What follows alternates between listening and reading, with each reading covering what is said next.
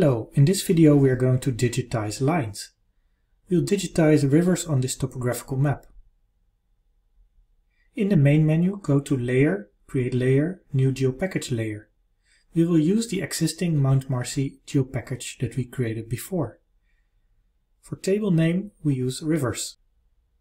For geometry type, we choose line string and we change the projection to the same that is used in this project. As an attribute, we add the name of the river, which is text data, and click Add to Fields list. Then we click OK. A pop-up warns us if we want to overwrite or add the new layer. We want to add the new layer to the existing GeoPackage. Now we see the new empty layer in the Layers panel. Toggle on the editing by clicking the pencil and add a line. Let's digitize this river. We always digitize rivers from the upstream to the downstream. The direction of the river is stored in the geometry of the layer.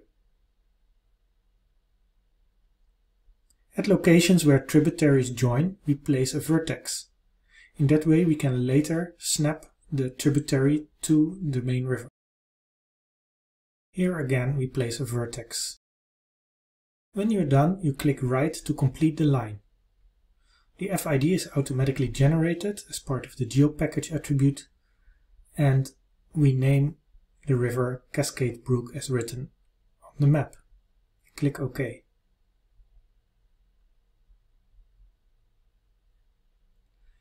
Now the line symbol is a random symbol and it's not very clear so if we uncheck the topographical map you can clearly see the line. We'll change the styling in another video. Now we're going to add a tributary. Therefore it's important to switch on the snapping toolbar. You can find that by clicking right somewhere on the toolbar. Click the magnet and choose the active layer so it only snaps to an active layer. You can also snap to other layers. Choose 15 meters. Can test it. When my mouse comes within 15 meters, it highlights the closest vertex. And I also digitize the tributary from the upstream to the downstream. If I make a mistake, I can use backspace, then it will go back one node. Here it snaps, and with right I can complete this tributary and fill in the name of the river, which is Cascade Brook.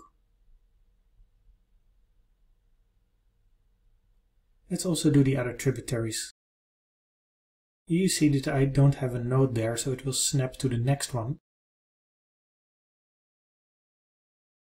And here's another one. Now I've digitized all the uh, streams from the Cascade Brook. Let's do another river. Here we have the Cedar Brook and I also digitize it from the upstream to the downstream. And I click right to complete. I fill in the name and click OK. Now I can save the line by toggle off the editing or I can make still corrections. Simply click on a vertex and move it. I can use undo and it works similar to the points. Let's save it and check the attribute table. Here I see that uh, every line of the Cascade Brook is a separate feature, as well as the Cedar Brook. Sometimes you want to consider all the tributaries as one feature of the main river. And we can achieve that by dissolving using the name in this case. In the vector menu, go to Geoprocessing Tools and choose Dissolve. As an input layer, I choose Rivers, and I select the name field as the field to dissolve. So all features with the same name will become one feature. I store the result in the GeoPackage and I call the output rivers dissolved. Click OK and run the algorithm. Close the dialog when it's done and check the attribute table. And here we see that Cascade Brook is selected and it becomes uh, completely yellow. It's one feature. So in this video you've learned how to digitize lines, specifically rivers from the upstream to the downstream, and how to dissolve tributaries so rivers become one feature.